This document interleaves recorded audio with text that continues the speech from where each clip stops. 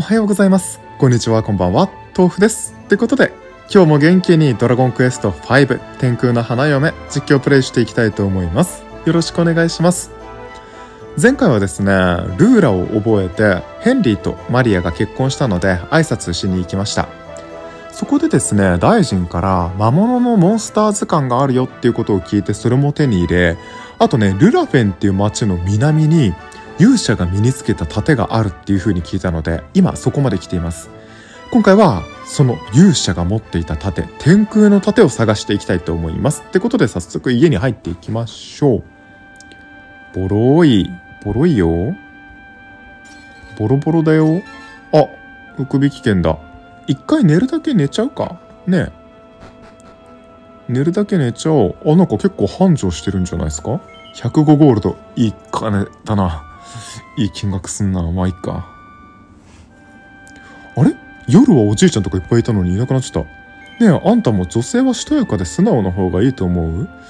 まあ人によるんじゃないですか。私はね、あんまり気にしないかも。本当の女らしさそれだけじゃないもの。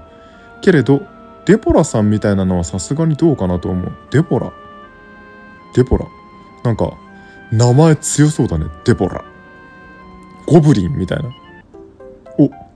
チーメだ。ありがとうございます。さあ、そうしたら、バカリコ。こんにちは。あんたまさか噂を聞いてフローラさんと結婚したいなんて思ったんじゃないだろうね。でもあれほどの娘さんだ。相手にもされないと思うよ。失、失礼、失礼だな。見ろ俺のパーティーを。スライム3匹だぞ。舐めてんのか。修道院でお預かりしていたお嬢さんを家までお送りしてきたところ、もっと早く失礼するつもりだったのだけど、あまりのおもてなしになかなか帰れませんでしたわ。へえ。そろそろ素敵な男性を探して結婚させたいというのがお父上のお考えらしいですね。いや、でもそれはさ、サラモーダの町のフローラさんが修道院から帰ってきた。それはさ、なんていうの？それは、それはフローラさんの意思を尊重した方がいいんじゃないの？お父さんが結婚させたいとかっていうよりはさ、フローラさんが結婚したいかの方が大切じゃない？っていう風に言って今あれでさあのジェンダージェンダーとか今多様な世界なんて言うんだっけああいうの。あれに対して理解があります男アピールしました今。これで私の数少ない女性視聴者もグッときたはず。知らんけど。さあそしたらさなんか今言った感じだと南の町のサラゴナ？サラボナ？わかんないけどそこがポイントっぽいね。そこになんかフローラさんがいるみたいで、フローラさんがいてくれると多分天空の盾があるんじゃないか？え、適当こいてる。ほんまか？天空の盾あるそこに。大丈夫？さあ、泥ヌーバな。ピエールの装備マジで良くしないと。待って、メタリ今初めて攻撃受けたけど、やっぱ1ダメージしか食らわない。こいつ頼りになるわ、マジで。なんて言いかした野郎なんだ、メタリン。マジでメタリンが仲間になったのでかすぎるなこれさ、はぐれメタルとかメタルキングとかも仲間になるのかなとか全モンスター仲間になるわけじゃないよね。なんかさ、スーファミの時ってさ、なんか多分全モンスターじゃないと思うんだよな。い、アプリ版はどうなんですか？皆さん。よいしょ。っていうかスーファミもさ、モンスター仲間にするまでできなかったんだよね。難しくて当時。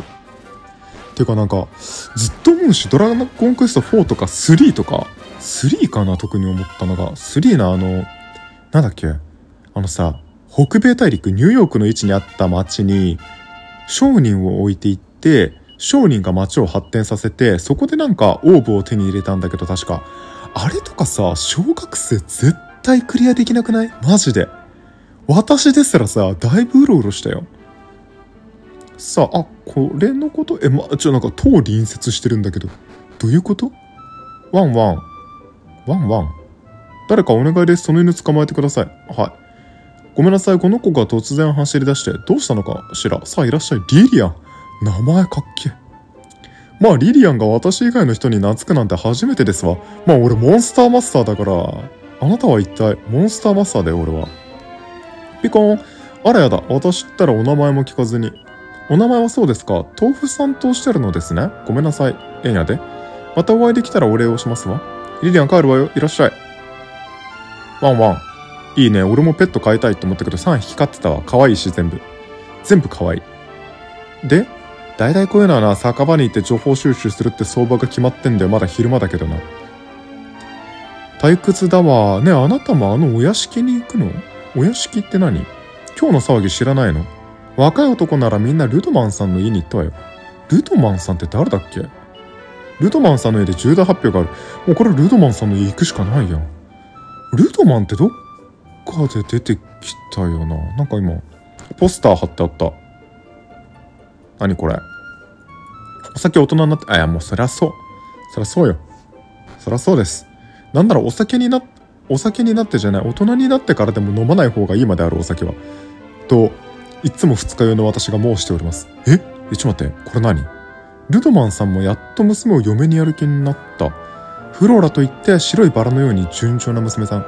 何人もの男たちがフローラさんに言ったけど、ルドマンさんが相手にさせなかった。あ、さっきのね、あのね、青髪の女の子ね。で、ルドマンさんの家どこなん？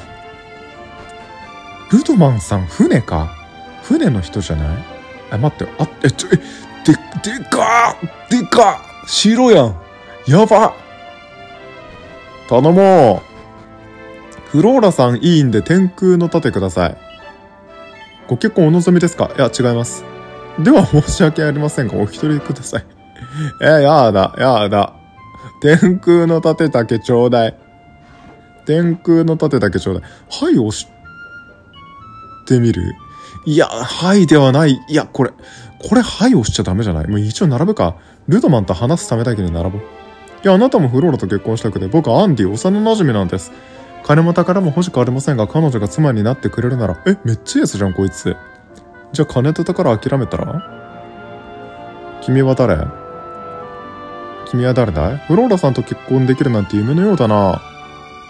あなたもちょうどいい時にこの街を訪れましたね。フローラさんとザイさんは私がいただきますよ。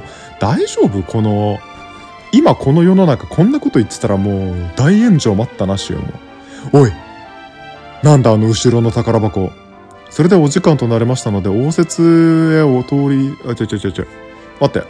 別に俺は結婚したくて並んでるわけではないんだ。その奥の宝箱に興味があるよ、俺は。なんかすげえやつ出てきたけど。うるさいわね。何の騒ぎまた私と付き合いたいって男たちが来たわけ。ねえ、待って思い出した一番初めのさ、一番初め幼少期にさ、ルドマンさんの船からパパスと一緒に降りた時に、黒髪の女の子と青髪の女の子がおって、こいつじゃね黒髪のやつ。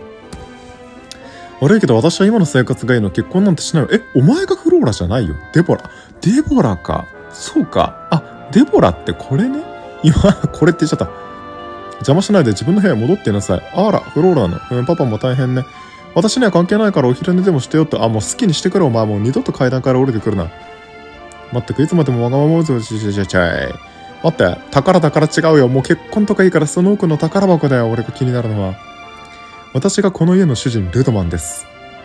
我が娘フローラの結婚相手を決めるため、ただの男をフローラ、ただの男にフローラを嫁にやろうとは思わん。条件を聞いてほしい。古い言い伝えによると、大陸のどこかに二つの指輪がある。炎、水のリング。身につけた者に幸福をもたらす。この二つのリングを手に入れ、結婚指輪にできたなら喜んで認めよう。我が家の婿には、来た来たその証として家宝の盾を授けるつもりだ。では、待ってください。そりゃまあフローラはそうなるよな。部屋で待ってるよ言っただろう。お父様、私は今までお父様のおっしゃる通りにしてきました。でも夫となる人だけは自分で決めたい。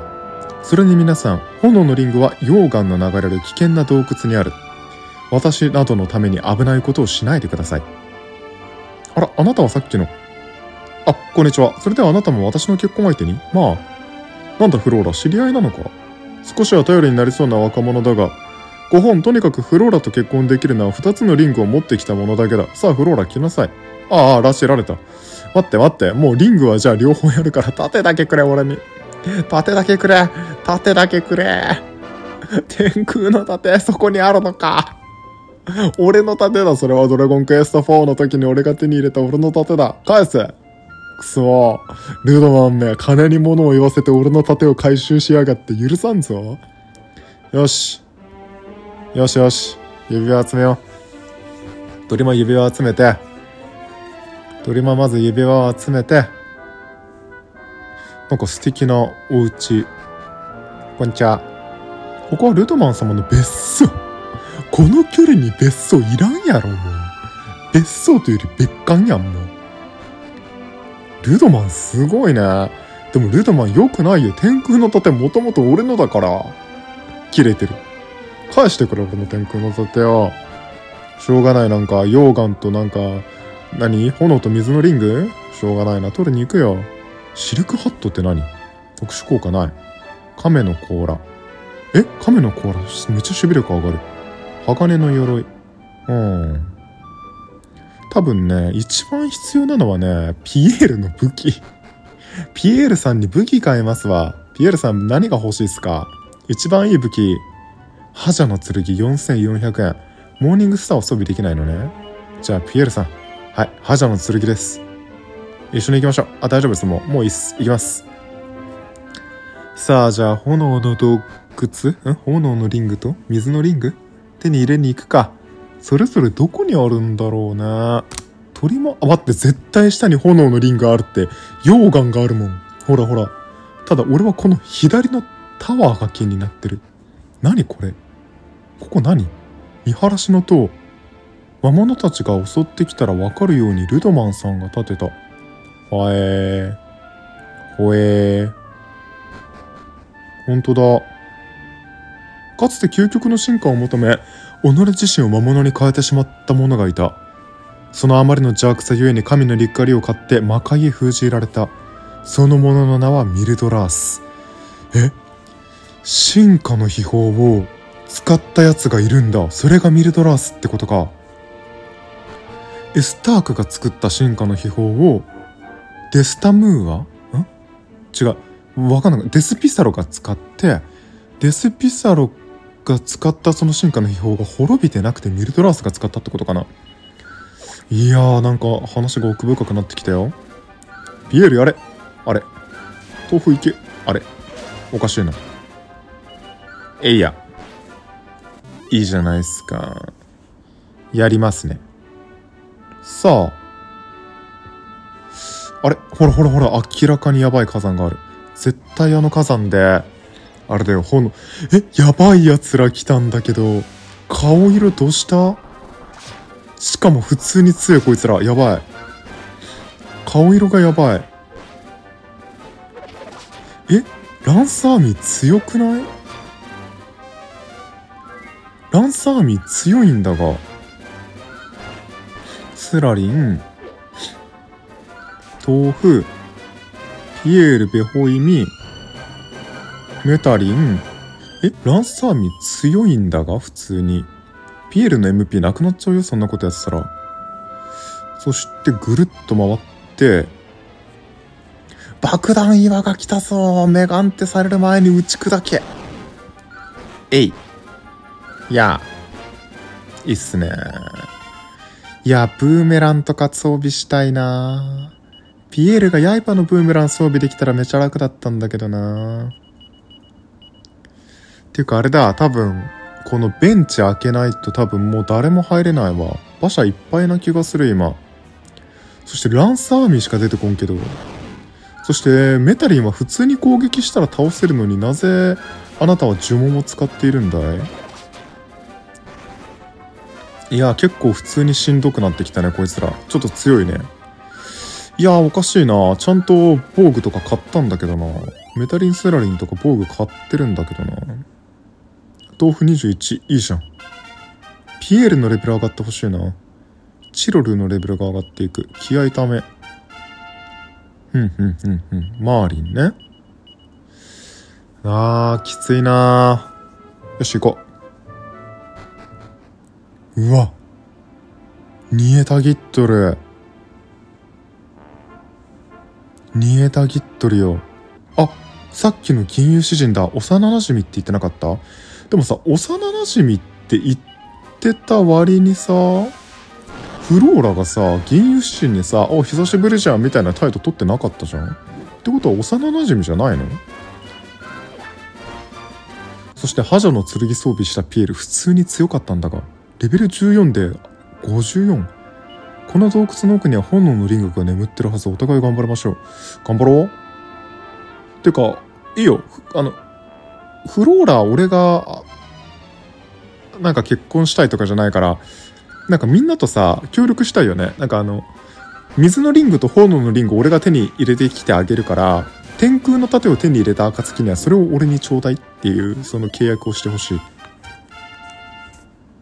さあ、ヌーバレベル上がっていく魔法規定の呪文。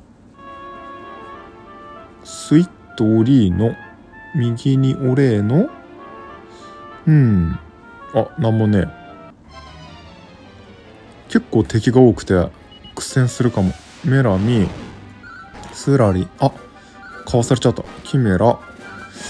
うん、ナイス会心。ちょっと攻撃力がやっぱり強いね。あとどうしよっかな。メタリン、メラミさせないように呪文使うのにしようかな。呪文使うなでいいような気もする。ぐるりと回ってきてしまった。そしたら降りて、どっちだろう？右行ってみる？いや、左行ってみよう。上か？あ、なんもねえわ。畜生ふざけやがって。うわー強そう急に。あー、でもメタリンがいけるわ。メタリンがリンリンしてるわ。なんだこいつら。え、待って、攻撃力超高いんだけど。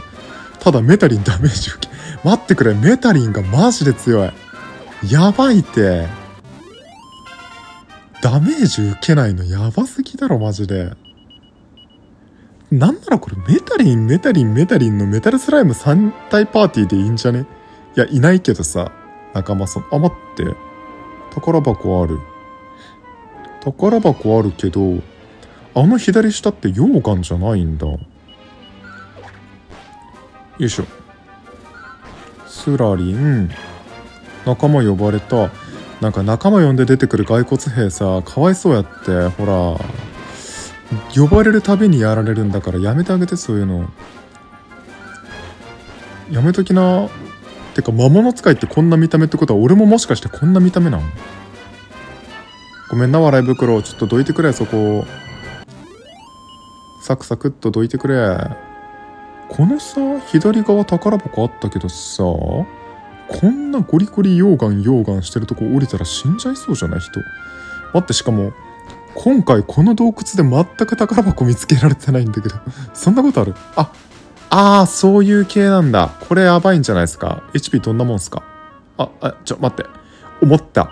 思ったわ。あの、ダメージ多分1しかないから、そんなしんどくはないんだけど、メタリン HP が低すぎてダメージ床のダメージがやばい。相対的に大ダメージになってる。いやー、これは弱点を発見しましたよ、初めて。初めてメタリンの弱点が出てきましたね。茨のムチ。ほほほほほう？ーん。待って、このさ、渡ってみよう。なんもないんかい。えー、どうしよう。どうやって進もう。宝箱開けたいよ。全く宝箱が手に入れられてないよ、今回。ベホイミで回復していく。爆弾岩。メタリン。スラリン。311の経験値。うーん。あ、宝箱だ。初宝箱。なんだろう。1500ゴールドいいじゃん。そしたら満タンでうーん、ピエールの M、ちょ待って。ピエール今、馬車のメンバーまで回復しなかった？もうピエール MP ないんじゃないかこれ。やばすぎる。これはやばいよ。これは強い、絶対。これは絶対強いよ。待って、メタルハンター仲間にしたすぎるんだけど。やばいね。超いいじゃん。ピエールレベル上がっていく。よいしょ、こっちなんもないね。あれ？迷子か？俺これ。こっち行ってなかった気がする。炎の戦士ね。メタリンの2回攻撃。スラリン、殴りの燃え盛る火炎は痛いがメタリンは効かんのよ。いやー、強いわ。呪文もブレスも何も効かん。防御力も280とかあるメタリン。やばい。これさ、メタルスライムさ、ちゃんと本当にさ、防具一番いいやつつけたらラスボス戦でも全然活躍できそうだよね。あー、これはね、絶対こっちな気がするんだ。溶岩がある方に決まってる、こういうのは。あ、回復の泉だ。やった。回復したよ。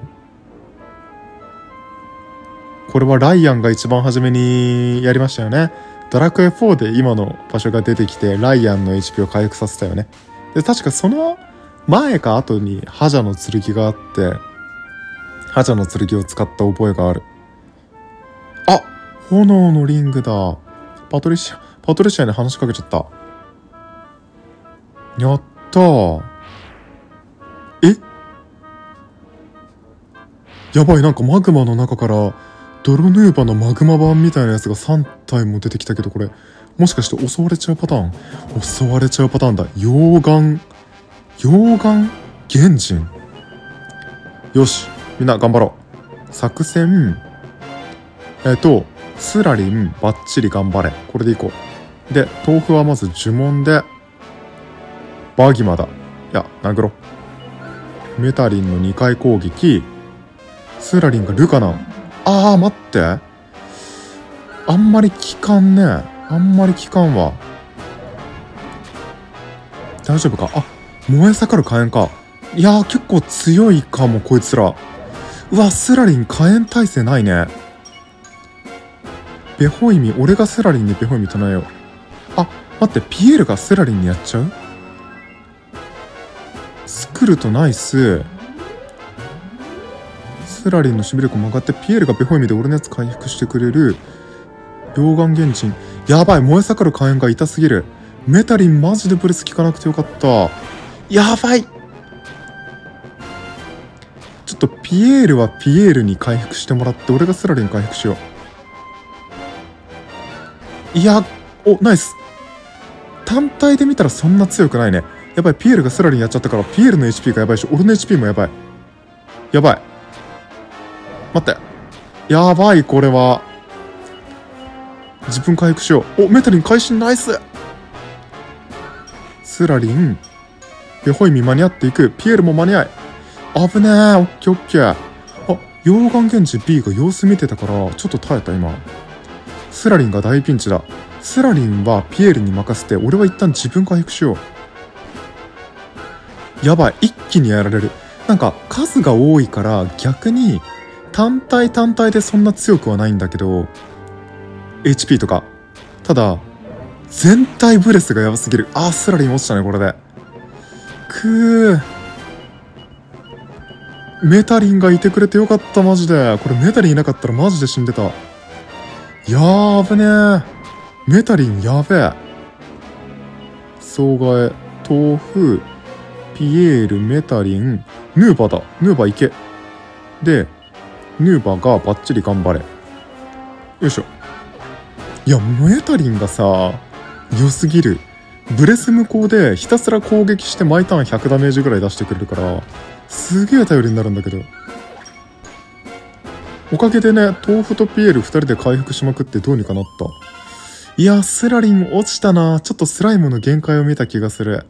ブレス耐性がないのか。岩に埋め込まれたリングが燃え盛る炎のごとく輝いている。豆腐は炎のリングを見つけた。よし。まずは一つ。はい。ってことでですね、ちょっとこの溶岩の洞窟から脱出して本日はここまでにしたいと思います。まあ無事にね、洞窟出れたんだけど、まあその代わりというか、スラリンがね、結構大打撃を負っちゃいましたね。次回は水のリングを求めて冒険していきたいと思います。ってことで、本日もここまでご視聴ありがとうございました。皆様の良きゲームライフに乗っております。豆腐でした。バイバイ。